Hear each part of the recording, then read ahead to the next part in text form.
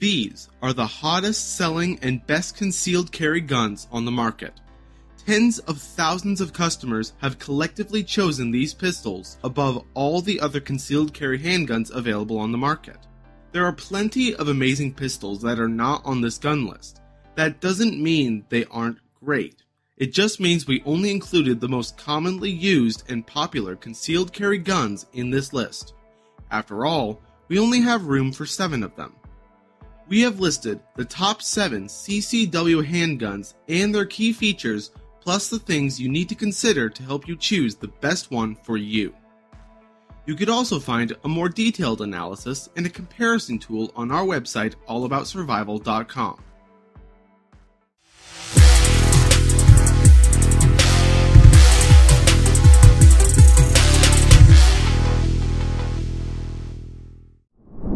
Number 7. Walther PPK. You already thought it, but I'll say it. Bond. James Bond. Yes, it's that gun. The Legend of the Silver Screen. Now, before you go off all half cocked, look that one up for an interesting history of a cliche. We know this isn't a brand new gun. In fact, it's a rather old design, first introduced in 1930 but it has been redone for 2019 while hanging on to the heritage that made it famous. While the gun has a bit of a checkered past, Hitler offed himself in his underground bunker with the 32 caliber version, it's most recognizable for its stainless steel frame flashing in the limelight in the hands of one 007. The reborn version, absent from Walther's arsenal since 1992, is chambered in 380 ACP to hold a bit more ammo than the 9mm version. With a gun this small, that extra round can make a difference. Plus, today's 380 cartridges are more powerful than in years gone by, so you're not really sacrificing much with the slightly smaller round. All the controls are right handed, as is tradition in older models, both original and redone. The magazine is a scant 6 plus 1, However, for one extra round, pick up the short PPKS version that features a slightly longer grip with a 7 plus 1 magazine and single color black finish. Production of this venerable weapon has moved from Germany to Walther's US headquarters in Fort Smith, Arkansas, making this a truly American made gem. Number 6 Ruger Max 9 there was no chance Ruger was going to be left out of the micro compact fray, and the company did a whole bunch of things right with the Max 9. Available with or without the manual safety lever, the Max 9 comes standard with a slide cut for optics and a fiber optic tritium front sight that's easily visible in both daylight and low light conditions. Additionally, the nicely sized sights co-witness with JPoint or shield style micro red dot optics. Oh, and the Max 9 also boasts a 10 round capacity for the standard magazine as well. The slide and barrel wear a black oxide finish and the mag release is reversible for left-handed shooters. Speaking of which, Controls like the magazine release and the slide stop are a little skimpy, but Ruger makes up for it with how well the pistol handles during fire, and with the really nice trigger pull. The sample unit's trigger measured an average of 4.75 pounds at the break, and the pull was very clean and grit free. Though the grip looks a little boxy, it's extremely comfortable. Every single evaluator laud the Max 9's controllability, very impressed with its accuracy. We were shooting one hole groups at 7 yards with the pint sized heater. The only issue we ran into was that the magazine release was small and a little hard to engage. And the 10 round magazine didn't want to fall free on its own at times. It may have just been an issue with that particular magazine, since there was no problem getting the 12 rounder to pop free. The Ruger Max 9 brought a lot to the table in regard to features and performance, especially in comparison to other pistols in the test. While it wasn't the least expensive pistol on the table, there's no question that it's action packed with value and very worthy of being at your side. Number 5 CZ P10C. Small guns are great, but I, like many people, typically prefer a slightly larger gun. Carrying a compact firearm isn't that difficult with the right combination of holster and belt. The CZ P10C is a compact firearm that's one of the best on the market. The Glock 19 long ruled this seat, but Glock has fallen behind lately. The P10C packs 15 rounds of 9mm, a compact size, a polymer frame, and a striker fire design. It sounds basic, but packs several features that make it a step above the rest. First, the flat face trigger is smooth and exceptionally well done. The grip is very aggressive and will cling to your hand. A trigger guard undercut and a high beaver tail makes the gun very easy to get a high comfortable grip to control the weapon better. This is one of the few guns that features a slide lock that's not easily pinned down with a thumb's forward grip. Plus, it comes with metal sights. It just does everything the Glock 19 can do, but does it a little better. If you don't mind a little extra size, then the CZ P10C has your back. Number 4. Taurus GX4 If you like the way a Glock looks and feels in your hand, you'll like the Taurus GX4. It is a polymer framed striker fired pistol with a passive trigger safety and a removable slide plate for optics mounting. At only 6 inches long and 4.4 inches high, it is an amazingly compact and lightweight pistol. However, with its easy to see sights, it was very manageable on all the practical drills and scored 4th place overall in that category. Stacked up against all the other handguns in the test, this pistol ranked 3rd and had a best of the test score of 4.64 points out of 5 on the value scale. We experienced no stoppages with the GX4. The GX4 has a reversible magazine release and comes with two 11 round magazines with a much appreciated extended base plate. An additional backstrap is supplied to help you adjust the grip to fit your hand. The slide stop is of minimal proportions to prevent accidental engagement but is positioned well enough for thumb control if that's how you like to release the slide. The rear sight is smartly devoid of unnecessary dots and the front sight has a white dot. The pistol disassembles easily enough, but a flat blade screwdriver is required. This was the one feature we did not like. Number 3. S&W M&P Shield Plus. Smith & Wesson jumped into the micro compact market in 2021 with the M&P Shield Plus. Not exactly a brand new design, the Shield Plus builds on the success of the Shield 2.0 by integrating a few subtle changes.